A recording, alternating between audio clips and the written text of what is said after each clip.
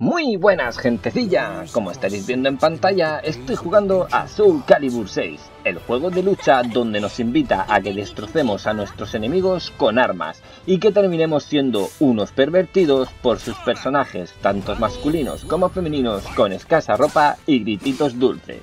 ¿De ambos sexos? Pues claro, mira este boldo y hablamos. Como cazador de trofeos de PlayStation 5, me gustaría que me acompañarais en los últimos minutos de este juego, mientras hago una valoración de dificultad, tiempo y comento alguno de sus trofeos.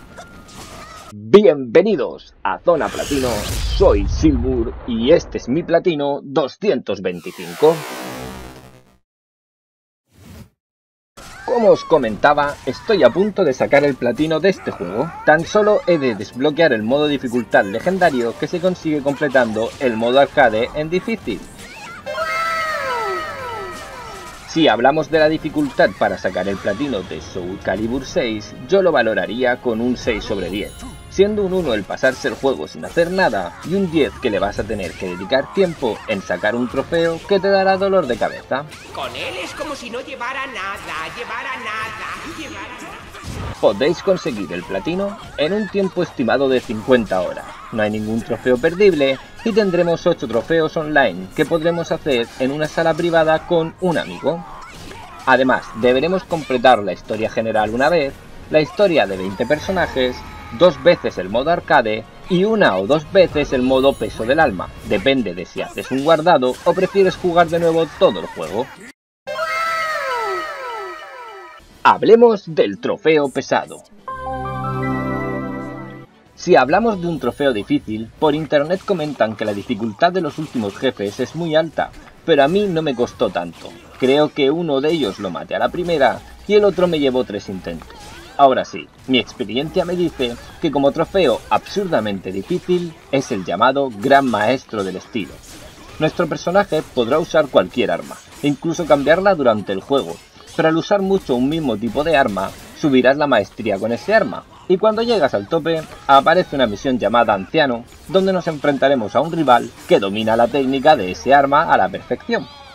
Pues bien, si la dificultad del juego no es nada del otro mundo, cuando llegas a este combate parece que te has puesto el modo pesadilla ultra jodido plus del infierno.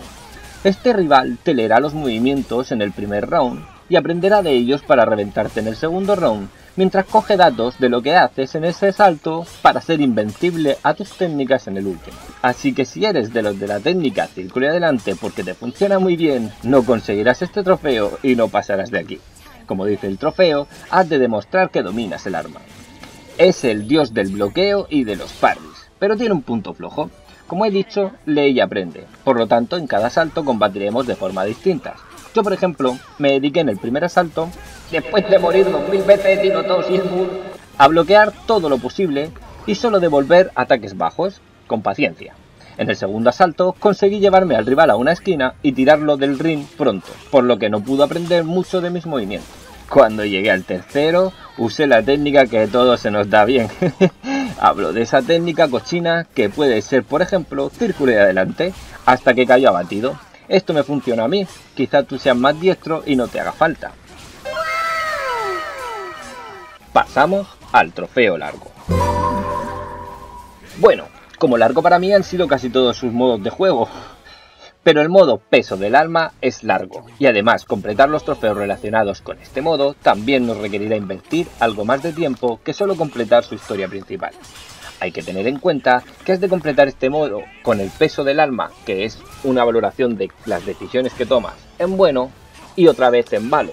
Así que tendrás que jugarlo dos veces o guardar cerca del final y cuando acabes una vez el juego, recargar, jugar unos 30 combates de nuevo para cambiar tu peso del alma y volver a acabar las últimas misiones. En este mismo modo, deberemos movernos una distancia equivalente a tres vueltas a la Tierra. Vamos, una barbaridad de tiempo perdido moviéndote por el mapa.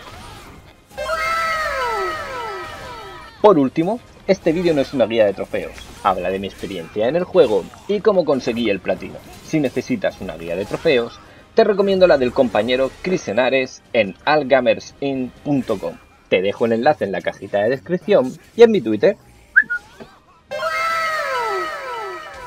Y por fin, Platino 225 conseguido.